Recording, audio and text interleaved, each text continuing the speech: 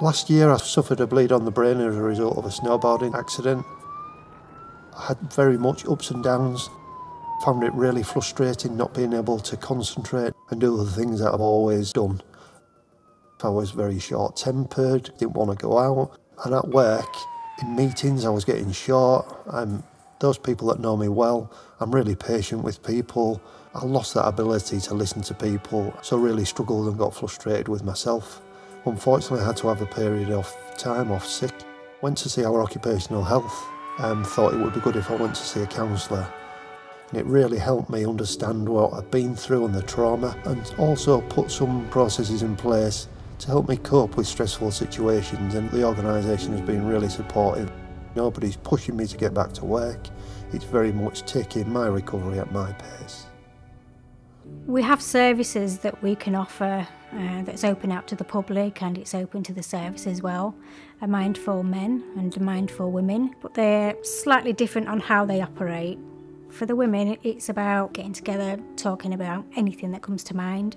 Exactly the same for men, only it's in a different location. It could be, you know, having a pint and doing something, maybe in a workshop. It does the same thing, it helps you offload. I did feel guilt through my recovery.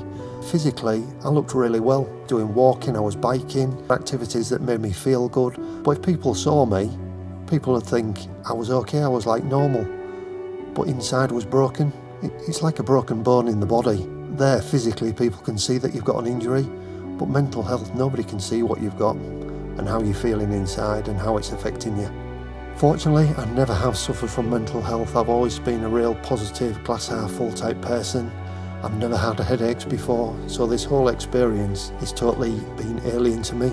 But it's given me such a great appreciation of mental health and how it affects different people and how it affects the organisation because there are so many people today that are probably struggling with the early onset of mental health conditions that don't know it. And if I can help raise awareness, that'll be a great thing to do for me. As an organisation, we're trying to put in all of the elements of support to get people to talk about it. So if they are comfortable raising it through things like occupational health, counselling services, we've invested in our staff to be blue light champions that mean they've got to invest in interest in the staff and supporting them. We've got people that have been involved in counselling before, we've got people that in their own time do suicide awareness watch. So they have a different skill set that people might find easy to approach. That's enabled us to give a much more wraparound support when they need it. I don't find it hard talking about it now because I suppose I've spoken to so many people. You know, going to environments where there's people I've never seen before, I find it difficult explaining it. It is still a bit stigmatised. People still see mental health as a, a weakness.